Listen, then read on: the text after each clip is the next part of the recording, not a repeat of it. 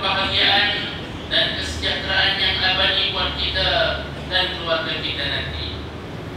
Saudara-saudara sekalian, ibadah haji tahun ini telah pun selesai. Bahkan sebagian jemaah haji kita telah selamat kembali ke tanah air masing-masing. Sementara yang lainnya pula sedang membuat persiapan untuk berangkat pulang. Begitulah juga baginda Nabi sallallahu alaihi wasallam yang mengerjakan hajjatul wada' bersama puluhan ribu kaum muslimin pada tahun ke-10 Hijrah. Sejurus setelah semua pekerjaan haji disempurnakan, Rasulullah sallallahu alaihi wasallam segera berangkat untuk kembali ke Madinah pada tanggal 14 Zulhijjah. Saudara, tanah suci Makkah adalah bahagian bumi Allah yang paling dicintai Rasul sallallahu alaihi wasallam. Itulah tempat baginda dilahirkan ibunya dan dibesarkan dengan penuh kasih sayang dikelilingi saudara mara dan kaum kerabat yang membentuk keluarga besar baginda Nabi sallallahu alaihi wasallam. Di Makkah itulah juga Rasulullah sallallahu alaihi wasallam menemui jodohnya dengan Sayyidatuna Khadijah radhiyallahu taala anha dan dikurniakan anak-anak. Makkah juga saudara adalah tempat Rasul sallallahu alaihi wasallam menerima wahyu yang pertama dan memulakan tugas menyeru manusia untuk beriman kepada Allah. Oleh itu, kita dapati bahawa Makkah mempunyai tempat yang amat istimewa di dalam jiwa baginda Nabi sallallahu alaihi wasallam. Bahkan dengarkan sendiri saudara ucapan syahdu baginda ketika hendak Makkah semasa peristiwa hijrah dalam hadis yang diriwayatkan Imam Tirmidzi baginda Nabi sallallahu alaihi wasallam bersabda engkaulah yakni Makkah negeri yang terbaik dan engkaulah negeri yang paling aku cintai. Kalaulah tidak kerana kaumku bertindak mengeluarkan aku daripadamu nescaya tidak akan aku tinggal di negeri selainmu begitulah hebatnya kasih Nabi sallallahu alaihi wasallam terhadap tanah tempat kelahirannya namun kita dapat juga betapa Rasul sallallahu alaihi wasallam segera kembali ke Madinah sebaik sahaja selesai mengerjakan ibadah haji pada tahun ke-10 Hijrah. Jangan katakan menetap terus di Makkah, malah duduk lama sedikit di situ juga tidak. Selesai saja tiga hari tasyrik, baginda Nabi sallallahu alaihi wasallam terus pulang ke Madinah keesokan harinya pada 14 hari bulan Dzulhijjah. Persoalannya adalah saudara, tidakkah baginda merasa rindu kepada Makkah setelah 10 tahun berhijrah? Adakah sudah pudar dan lenyap cinta Nabi sallallahu alaihi wasallam terhadap tanah tumpah darahnya? Jawapannya tentu sekali tidak, saudara. Perasaan cinta terhadap tanah Makkah tetap subur di hati Nabi sallallahu alaihi wasallam. Akan tetapi meneruskan tanggungjawab perjuangan adalah lebih besar dari desakan hati dan perasaan. Menunaikan janji terhadap perang-perang Madinah ternyata lebih utama bagi Nabi sallallahu alaihi wasallam dari duduk melayan kenangan suka duka masa lalu. Ini dibuktikan semasa peristiwa pembukaan Makkah dua tahun sebelum itu. Para sahabat yang berasal dari Madinah menjadi bimbang kalau-kalau baginda Nabi sallallahu alaihi wasallam membuat keputusan untuk tidak ikut pulang ke Madinah. Mereka cukup faham betapa mendalamnya rasa cinta Nabi terhadap Makkah. Namun ketika itu baginda Nabi mengumpulkan para sahabatnya yang berasal dari Madinah Munawwarah dan menegaskan kepada mereka dalam hadis yang diriwayatkan Imam Muslim baginda bersabda "Kalla inni abdullah wa rasuluh. Hajartu ila allah wa ilaikum wal mahya mahyakum wal mamat mamatukum. Yang bermaksud tidak sama sekali. Yang yang tidak akan kembali menetap di Mekah. Sesungguhnya aku ini adalah hamba Allah dan rasulnya. Aku telah berhijrah menuju Allah dan berhijrah ke negeri kamu dan hidupku adalah dengan kamu. Matiku juga nanti akan bersama. Kaum Ansar ketika itu lantas mendapatkan Nabi wasallam sambil menangis kegembiraan. Demikianlah saudara. Komitmen yang ditunjukkan bagi Nabi alaihi wasallam terhadap sahabat-sahabatnya dari golongan Ansar yang telah berjanji sumpah setia untuk membela dan mempertahankan baginda ketika mereka suatu ketika menjemput baginda untuk berpindah ke Madinah. Mereka lah juga orang-orang yang telah mempertaruhkan harta dan nyawa mereka untuk baginda dan agama yang suci ini. Ternyata baginda Rasul sallallahu alaihi wasallam adalah seorang yang amat menghargai jasa dan bakti orang kepadanya.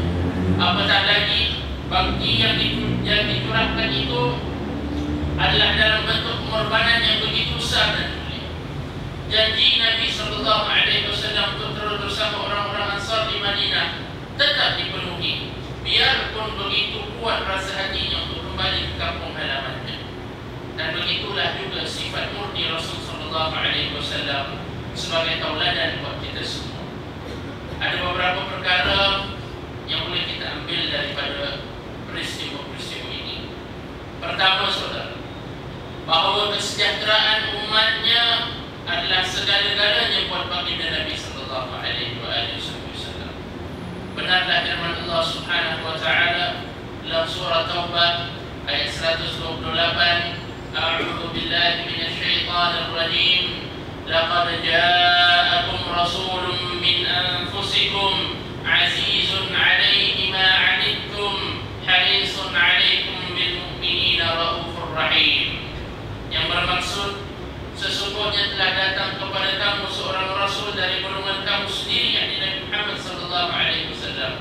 yang akan merasakan perih akibat kesusahan yang kamu harus tanggung dan yang terlalu amat menginginkan kebaikan untuk kamu dan dia menumpahkan perasaan belas serta kasih sayangnya kepada orang-orang yang beriman. Tauladan yang kedua yang kita boleh ambil daripada kisah perjalanan Nabi sallallahu alaihi wasallam ini adalah bahawa melaksanakan kewajiban dan menghormati perjanjian adalah lebih utama dari melayan perasaan.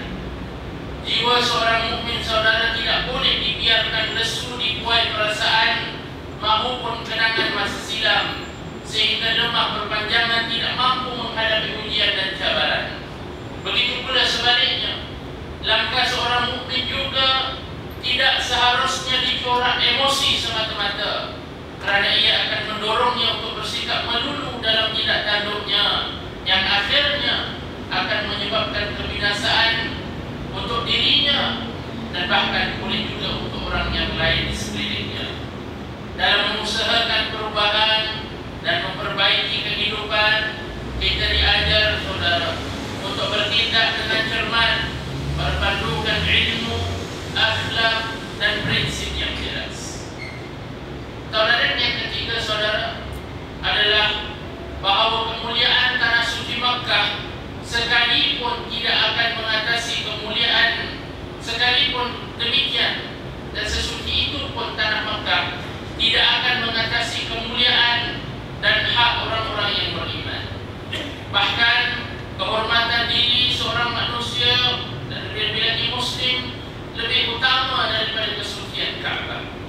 Dalam hadis yang diriwayatkan Imam Al-Baihaqi, Nabi sallallahu alaihi wasallam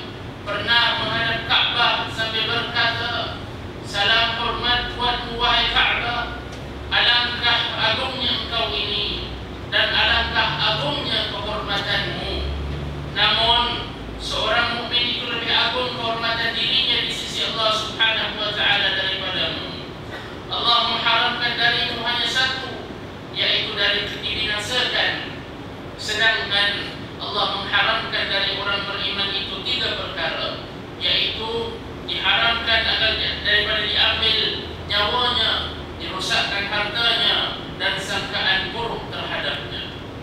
Subhanallah saudara. Demikian Rasulullah SAW menunjukkan Bahawa hak insan beriman itu lebih utama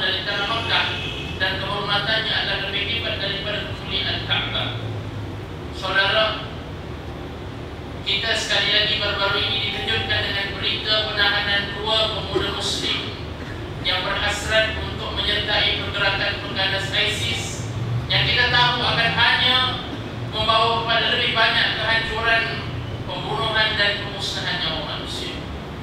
Oleh itu, bagi mereka yang terdorong atau merasa teringin untuk menyertai suatu perjuangan yang hanya akan membawa kepada kemusnahan dan pertumpahan darah sesama umat Islam nasihat saya pertimbangkanlah semula niat anda itu berulang kali